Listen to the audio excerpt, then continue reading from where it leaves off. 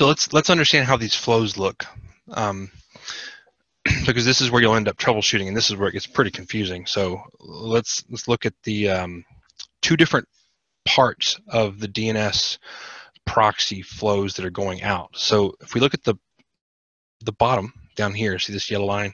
So now we're looking at the actual the flows as they come into the land side and go into the proxy. This is what you'll see. So you'll see the, if you can see my mouse hopefully, you'll see the IP1 will show the original source IP. So your actual, the user's desktop. But the weird thing that you'll notice is that instead of, let's say the user had uh, 44, 44, 44, 44 configured in their DNS uh, configuration, you won't see that in the flow table. Now, it'll be in the flow details, which I'll show you, but you will not see the original destination DNS server in the flow table in the IP1 or IP2 positions. You will see the IP of the uh, loopback. So the Silver Peak is rewriting this. It's, cha it's changing this on the fly. This is kind of some some interesting behavior that's different from a, mm, everything else we have in the product currently, I believe. Uh, so yeah, this this rewriting the destination IP, and you'll notice that it gets set to pass through unshaped. So this segment of the DNS proxy process you cannot control. This is done by a built-in policy or an SA map, the, the built-in policy, and you do not have control over this. However, this part, as the flow comes out, the top chart or top screenshot, this part you do control. In fact, you must control how the DNS uh, queries come out of the loopback and go out to wherever, wherever they're going.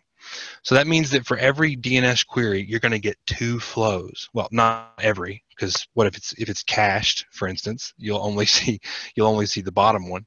But let's say that the that the domain was not in the cache, and the proxy needed to go out and query the remote DNS server. You'll see two flows, just like this. Um, now, so yeah, here you go. You see, it does show you the original destination DNS server, but it's buried in the flow details. So in this example, we're, we're coming off of 11.99. We're, we're getting intercepted into the DNS proxy. If we go and we find this flow here, and we click on the flow details for it, we'll see DNS proxy processed yes. And we'll see original destination IP. It'll show you what you know where you were trying to go. Um, and then here's the coming out of the loopback portion. The takeaway, the important takeaway here is that if you look at this flow, it doesn't look special. You, the only way you can even tell that this DNS flow came from the the local proxy is that it shows self down here, self LO0.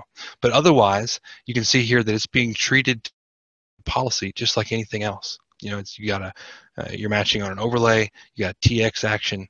Um, it's all controlled by policy. Um, this feature here, the DNS cache thing that's shown in the local appliance UI is not the same as the proxy cache. This has more to do with what we do at the ABC level um, with regard to extracting domain names and intercepting DNS. You can have a max of four DNS servers. Uh, we send DNS queries to two of those servers simultaneously. I don't know how it picks the two. Maybe it's random. Um, if both of the servers don't respond in four seconds, send request to two other servers. Uh, if no response in 10 seconds, then then nothing. I think then, then the client the client has to handle the failure at that point. So whatever the client would do when all DNS fails is what will occur.